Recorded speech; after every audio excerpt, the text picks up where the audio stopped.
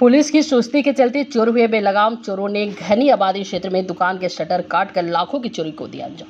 दुकान में लगे डबल शटर काट कर लाखों की नकदी व सामान चोरी। लगातार चोर दे रहे घटनाओं को अंजाम। कस्बे में रात में गश्त पर रहती है पुलिस, फिर भी हो जाती है चोरियाँ। दो लाख की नकदी व परचून का लाखों का सामान चोरी। सुबह हुई घटना की जानकारी से मचा हड़कम कोतवाली व कस्बा कायमगंज के सब्ज़ी मंडी जवाहरगंज का मामला।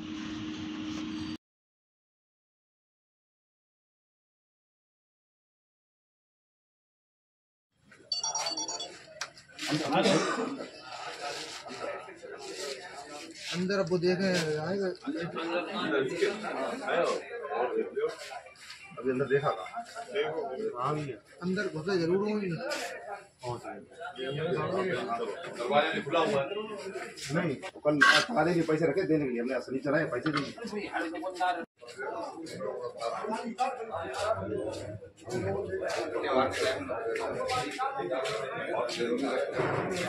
अभी अभी